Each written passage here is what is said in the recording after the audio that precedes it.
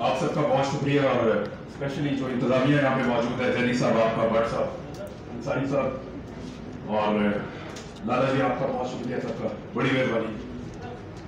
शहीद अरशद शहीद के लिए ये प्रोग्राम रखने के लिए। यहाँ मेरे से बहुत पुराने दोस्त बैठे हुए हैं जो अरशद शहीद साहब को जानते थे, उनके साथ उन्होंने टाइम गुजारा। है मैंने आठ दस महीने के ताल्लुक में इतनी तकलीफ़ महसूस की है। मैं अंदाज़ा कर सकता हूँ कि उन्हें कितनी तकलीफ़ हो रही हो। शायद वो इस दर्द को मेरे से ज़्यादा महसूस कर रहे हैं, लेकिन उनके अंदर सबर शायद ज़्यादा है, हौसला भी ज़्यादा है। यहाँ जो एक छोटा वाक्य हुआ, रिजवान और जुबैर, जब भी कभी इख्तलाफ हो ना तो ज़रूरी नहीं होता कि दोनों में से एक आदमी गलत हो। आप भी ठीक थे। आप सही बात कर रहे थे।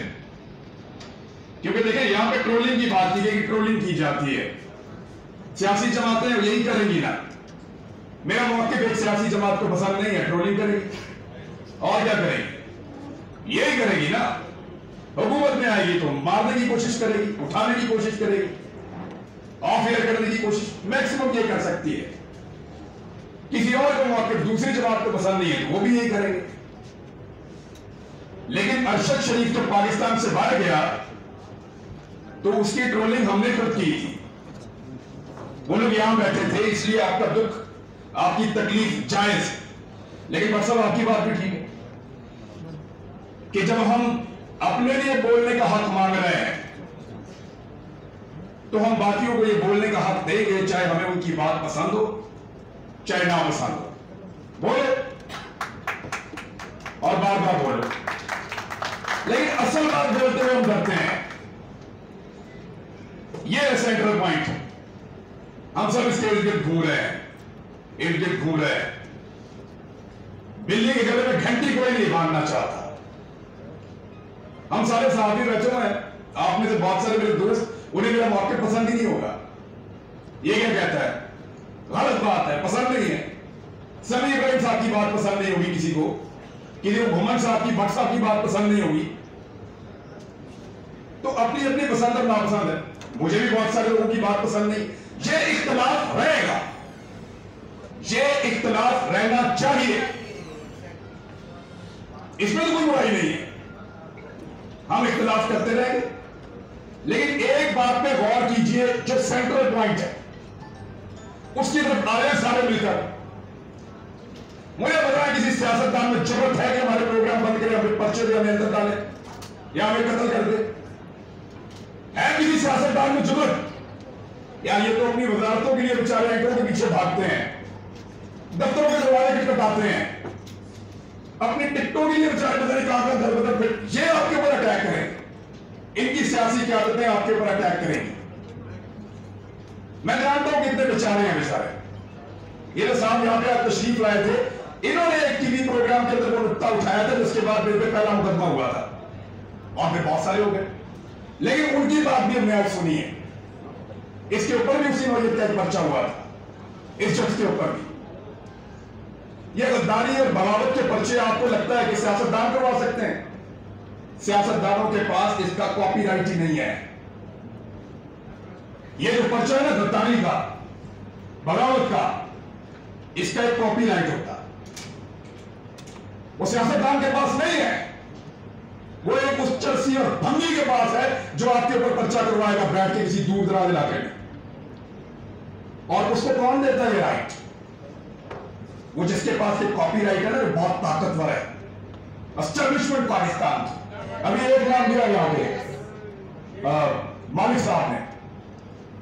एक जनरल का नाम लिया जो रिटायर हो गया। बहुत सारे रिटायर नहीं भी हुए। क्या यहाँ बैठे हुए आप सारे लोग नहीं जानते। मुझे एक आदमी या एक मेरी बहन हाथ खड़ी करके बताए कि उसको नहीं पता कि अशर शरीफ को किसने मारा। खड़ा करो हाथ। कोई एक? सबको पता है किसने मारा। सब जानते हैं किसने मारा। वो क्यों गया अपना मुल्क छोड़कर? वहाँ जंगल में पड़ा दो ढाई महीने तक। बड़ा खड़ा होकर बात करता रहा मुझे मेरा बोलने का राइट मिलना चाहिए। मैं बोलना चाहता हूँ मैं बोलता रहा शिकायत करता रहा शिकायत लगाता रहा जजेस को लिखता रहा मैं साथ था, साबिर शाकिर भाई वहाँ से बरतानिया से ऑनलाइन थे। मैं आपको बताता हूँ क्या हुआ था उस दिन।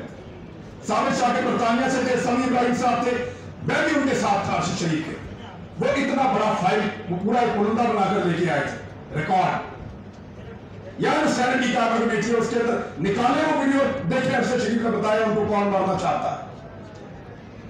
आप इंक्वायरियाँ करवा रहे हैं जीआईटी बिठा रहे हैं। आप चाहते हैं इसके ऊपर और इंक्वायरी वो अपनी ज़िंदगी में बताकर गया, मुझे कौन मारने वाला है।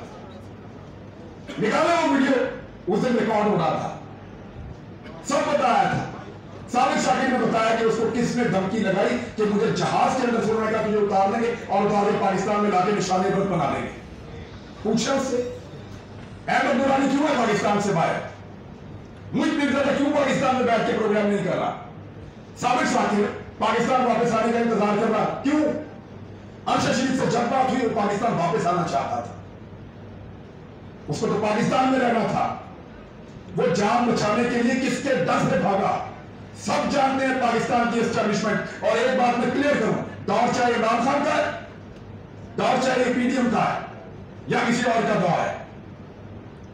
ये सियासतदानों की कोई औकात नहीं है। मीडिया उनसे आगे है मेरे ख्याल में। हम इतने बुजदिल और इतने कमज़ोर नहीं कि इनसे मार खाएँ। जो सबसे ताकतवर और तगड़ा ना मुकदस का है, वो आपको टकरे मार रही है। वो आपके पीछे पड़े हुए हैं। पाकिस्तान की एस्टेब्लिशमेंट मैं आपको एक चीज़ की मिसाल दे देता हूँ। इमरान खान के दौरे हुकूमत में जिन साथियों के ऊपर कार्रवाइयाँ हुई, जिनको पकड़ा गया मारा गया। आप जरा उनका एक लाइन के अंदर नाम तो लिखे। ये वो तमाम लोग हैं जिन्होंने एस्टेब्लिशमेंट के खिलाफ कोई ना कोई बात की थी। जो एस्टेब्लिशमेंट के खिलाफ बोला, उसको मार पड़ी। उसका प्रोग्राम बंद हुआ। जो एस्टेब्लिशमेंट के अगेंस्ट किया उसके खिलाफ कार्रवाई हुई। आज भी यही हो रहा है। कहते हैं, हुकूमत को जो मर्ज़ी कहो, हमें कुछ ना कहो। उनके बारे में बोलो कि वो छूते वो। आप आसमान से उतर के आए हैं। भाई, ये बात है, वो तो हो नहीं है ना। अब तो लोगों की आँखें खुल रही है।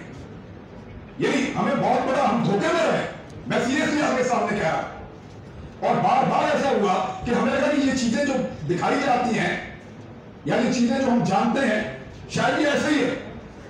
लेकिन बहुत घिनौने चेहरे सामने आए। बहुत सारे हकायक हमें पता चले। अब एक दूसरे का मज़ाक उड़ाने की बजाय असल मसले की तरफ़ आए। आप सबको भी एस्टेब्लिशमेंट ने मारा था। हम सबको भी एस्टेब्लिशमेंट मार रही है। अरशद शरीफ के कत्ल के लिए भी पाकिस्तान की एस्टेब्लिशमेंट जिम्मेदार। अट्ठारह मुकदमे थे उस आदमी के ऊपर, गद्दारी के और बगावत के। चौबीस मेरे ऊपर है। ग्यारह इधर है समीर इब्राहिम साहब के ऊपर। साबिर शाकिर पाकिस्तान से बाहर एक दर्जन मुकदमे उसके ऊपर है।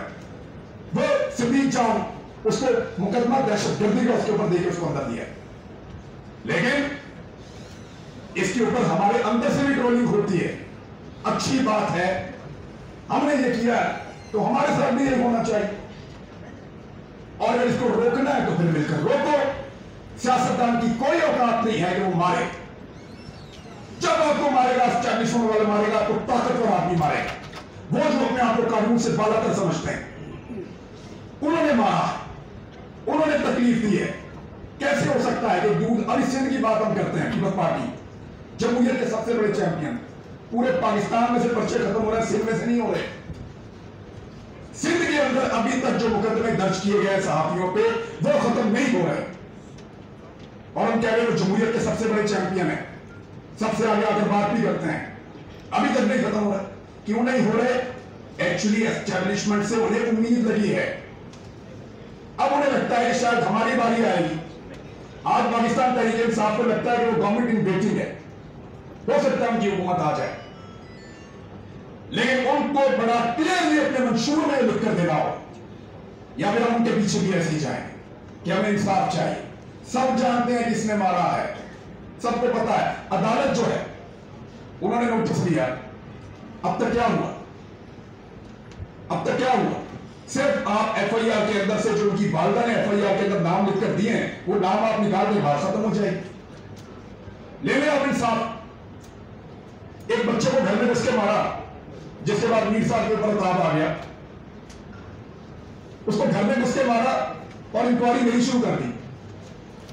आईएसआई वाले मुख्तलिफ़ दफ्तरों से मुझे फ़ोन करके पूछ रहे कि यार उसी ने नहीं मारा।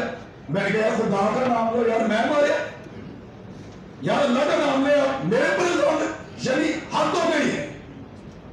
मेरे ऊपर इंक्वायरी कर रहे हैं कि तुम्हें मारा। पता भी है किसने मारा। पूरा पाकिस्तान जानता है, जब तक अकेले अकेले बाल खाते रहोगे सबको फेंका लगता रहेगा। ये आग आपके दरवाजे तक आएगी। हर एक के दरवाजे तक आएगी। और इस आग में आप सबको जलना पड़ेगा। एक साथ अगर आप इस लड़ाई को लड़ लेंगे तो शायद आप जीत जाएँ।